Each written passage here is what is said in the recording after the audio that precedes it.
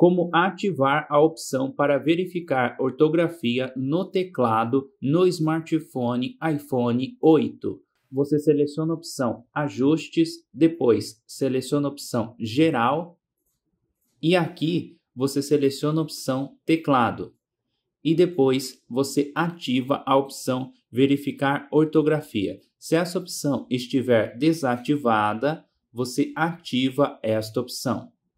É esta dica rápida que eu queria mostrar para vocês neste vídeo. Espero que esse vídeo tenha te ajudado. Não esqueça do seu like. Veja também outras dicas deste modelo aqui em nosso canal. Muito obrigado e até o próximo vídeo.